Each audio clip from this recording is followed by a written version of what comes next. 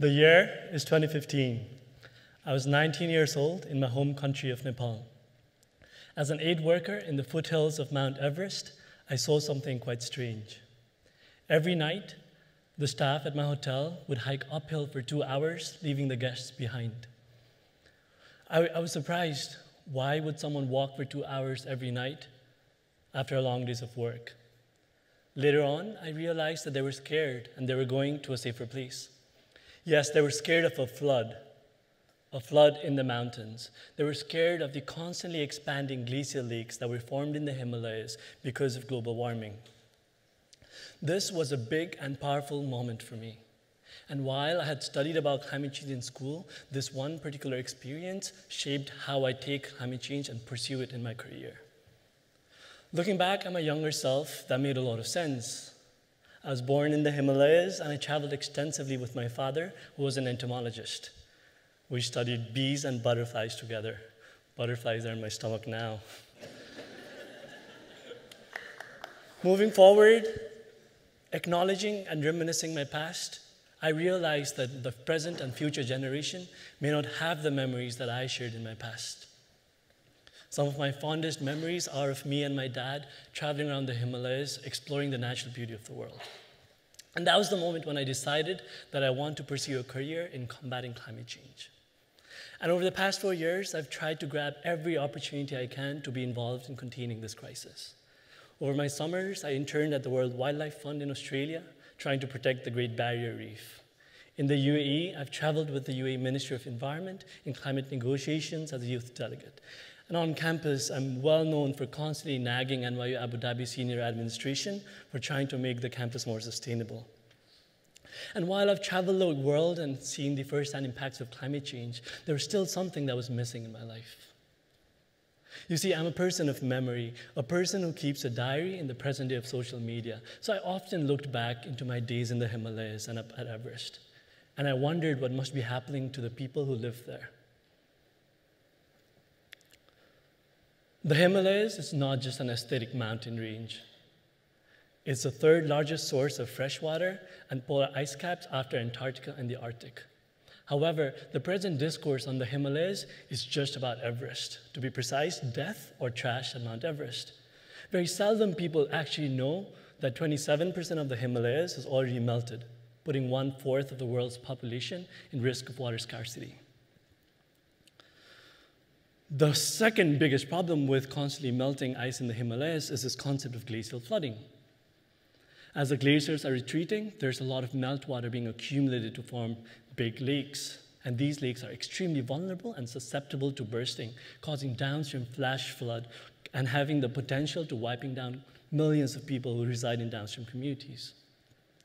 And while I was doing my research and trying to figure out what's actually happening back home in the Himalayas, I was only subjected with a lot of science and equations about climate change, something I couldn't really resonate well with. I often wondered where the people that, that, that are being affected by climate change. Why is climate change not personalized? And I questioned why is climate change so much about science, data, and equations, while it should really be about nature, people, animals, and our interaction? So I finally decided to ditch my corporate summer plans and I moved down to Nepal. I got on a motorbike and tra started traveling, started from the border of India up north towards China. And for people who know me, my bicycle wasn't very happy that I got on a motorbike. But the road could only take me so far. You see, there are no roads up in the mountains, so I had to start walking. And that's what I did for the next 12 days towards my big destination, of Tsho Rolpa Glacial Lake.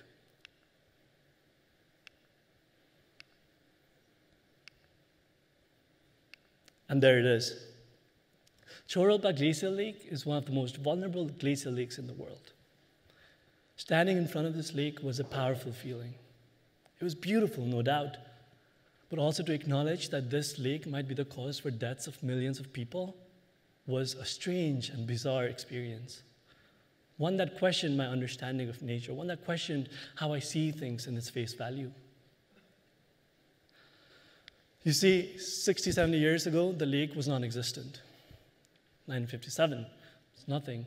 30 years down the road, the lake suddenly expanded to form a huge lake and got attention from Japanese scientists studying things in the mountains. They notified the Nepalese government, and together they decided to pro- install a proper drainage, as you can see in the map in 20, um, 20, 2003. And while this lake has decreased in its surface level since then, the biggest problem to the country is there are more than 1,600 such lakes in the Himalayas. And the government is not capable of doing this to every lake. But this talk is so much more about the people rather than the lake. And in my experience of spending the three months in the Himalayas, I encountered a lot of stories that resonated with how I felt when I was a child. You see, water plays a very central role in all of our lives. Glacier melting, sea level rise, to even just a small Al Ain water bottle, water's everywhere in our lives. Water plays a central characteristic in all the stories we read when we were a little boy or a girl. So, my talk is essentially about people their story of the lake and water. According to certain traditional beliefs in the Himalayas, there used to be a huge garden for yaks to herd. One night, the mountain gods came to the dreams of local Sherpa people and told them to take their yaks away. The people disagreed. The next morning, when they woke up, there was a huge lake that had formed after the mountains had melted. A lot of yaks were killed. And this was the formation of the lake, according to a lot of them. And these beliefs, strongly rooted on fate, as well as strongly rooted on act of God, were dominant in all of the conversations I had in the Himalayas. For some people, they believed consequences and natural disasters were also an act of God. People were particularly unhappy with the recent inflow of migrant workers from the south of Nepal to help rebuild communities after the earthquake. They told me, We're very upset that these people are here, they are not accustomed to local customs and traditions, and they're urinating and defecating near the river sources. There was a flood a day before I was there. So when I asked these people what was the cause of the flood, they said, it's because they urinated and defecated, and the mountain gods were upset. And for someone like me, it was quite amazing to hear all these experiences, and I couldn't really figure out what it means and how should I fathom this information. Moving forward, I want to introduce you to Jamnu Sherpa. I had the privilege of staying with her for a week when I was traveling up in the Himalayas, and she is a character, a very good one, of course. Like many people in the mountains, she believes in fatalism, an idea that everything is inevitable, and at the end of the day, you don't have control over what happens in your life. It's a strange story. One of the favorite things about her is she has 12 pet goats, and she just takes care of them for fun. So when the earthquake actually happened, everyone from the Himalayas were moving outwards and they were trying to escape. But she was in the city. She actually went back to the mountains because her pet goats were in her house and she wanted to take care of them. And when I asked her why she did that, she told me, if I had to die, I would die anyway. Her analogy in relating earthquake and climate change was also particularly interesting. As a little boy, I spent a lot of time doing earthquake drills. Nepal lies between the Himalayas, sandwiched between China and India. So we're always told that earthquakes are going to happen in the country. So she told me that earthquakes and climate change is similar. There's a lot of uncertainty. We know it's happening and we know it's going to happen at some point, but we don't know when. So does that mean I stop working and start thinking about climate change and not doing anything? No. You put it in the back of your head, you move on, and you work in order to put food in your family's table. And it's not just that. For a lot of people, climate change is actually a good thing. The picture you see here is of a very famous pass called Tashi Lapcha Pass. Sir Edmund Hillary himself, one of the pioneers climbing Everest in the first place, he acknowledged that this is one of the hardest passes to cross in the world. With climate change, what's happening is a lot of snow is melting, and there's not a lot of snow in the mountains anymore. So these extremely difficult passes are opening up, which means a lot of new tourists can actually come and explore the Himalayas. So when I encountered these tour guides who are scoping a potential trek for new tourists, they're quite excited about the idea of climate change. And while they agreed that climate change is happening, they said in the short run, it's actually helping them get jobs. One of the most interesting things about this particular pass is that it provides a much needed alternative route to Everest. And as you know, and as you may have heard, Everest is full of people. So having an alternative route is going to be a strong boost for the local economy. Economy and climate change. I'm sure you've heard of these two terms together before. But something that really, really caught my attention the most was the concept that climate change is a hoax. It was quite, quite bizarre to even imagine that people living in the most vulnerable communities would think climate change is a hoax. And I attribute this for two reasons. One, skepticism over the government's intent. You see, the government hasn't done much in this part of the world.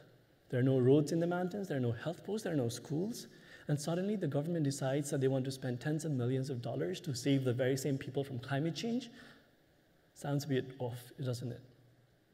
Second, what this translates is end to American imperialism and yes to Nepalese communism.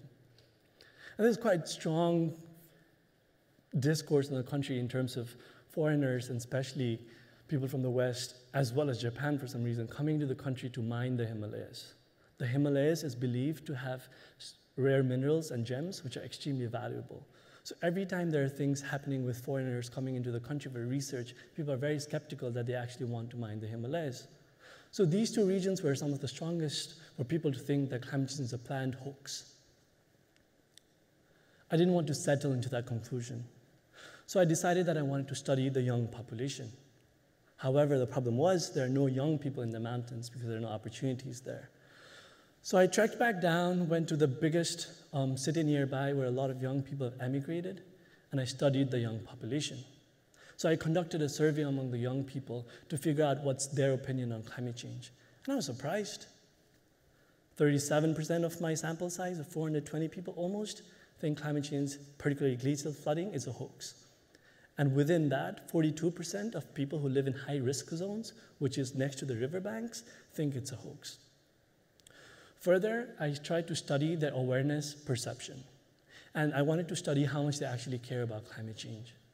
As an economist, I tried to understand how much tax they're willing to pay to solve climate change and to adapt to it.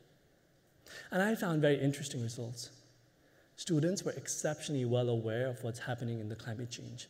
They were exposed to a 10 question quiz, which they scored brilliantly with. However, what was driving them to pay more taxes and to actually care more about the environment was not awareness, but it was their perception. And after calculating a perception index, I found out that the higher their perception towards climate change, the more they were actually care about.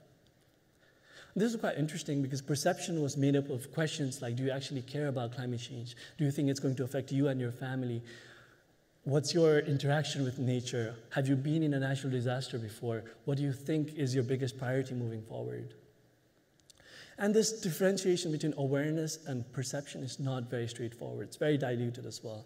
And they're not mutually exclusive either. You need both. However, it really strongly resonated with me four years ago. I was a well aware and educated person who was volunteering in Everest. But I didn't care much about climate change as much as I should have. But that one experience really changed my perception towards climate change. So, my idea is pretty simple we need to focus and find opportunities to be vulnerable. We need to find opportunities to live amongst the most vulnerable people to climate change. And we need to find opportunities to interact with nature, be vulnerable to climate change, and that is how we can move away from awareness to perception. For people sitting here today, what makes you sitting in this chair so passionate about climate change compared to someone else in the next seat who doesn't care about climate change? Or even if they care about climate change, we're not doing anything on climate change. In no way am I saying that you need to catch the next flight and go to Everest. That would be great for our economy, and I highly recommend.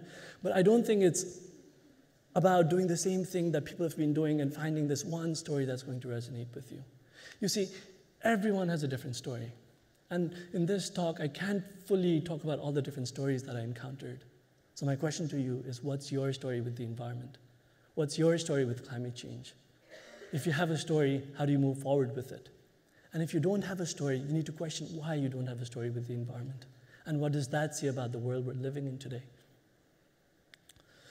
The mountains are melting. For people who live in these regions, they have nothing to do than to adapt to climate change by pushing the idea that climate change is real out of their head. You can call that a forced denial. During the night, and during the time of crisis, people are climbing up the hills in order to survive. But who says the flood is only going to hit during the night? What will they do if it hits during the day? What does our future entail? And what are we going to do about it? Or do we just listen to the words of Janmu Sherpa let fate decide. Thank you.